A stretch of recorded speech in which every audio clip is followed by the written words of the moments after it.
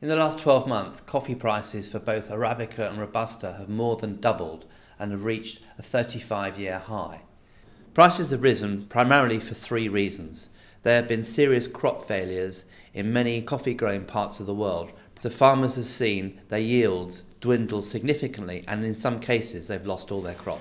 Secondly, speculators in the commodity markets have moved into coffee, which is actually now the second most traded commodity in world markets. Thirdly, we've seen significant growth in new markets, many of those markets originating from where the coffee itself is grown. So, on the face of it, you would think these high prices would be good for the farmers and good for the cooperatives, but actually, it's not. The cooperatives are having a really tough time at the moment because, in the rising market and the overall general shortage of coffee, uh, the multinationals, through the middlemen, are going around the farm gate offering the smallholder farmers cash for their crop, which for many farmers on a subsistence income to be offered high prices immediately is a great thing.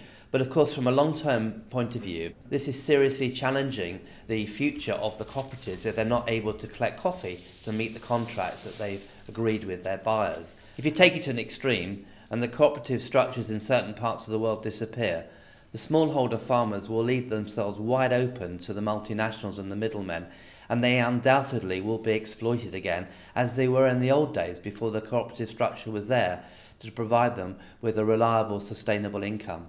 So it's a very, very difficult time for these cooperative organisations and actually for the future of the smallholder farmers.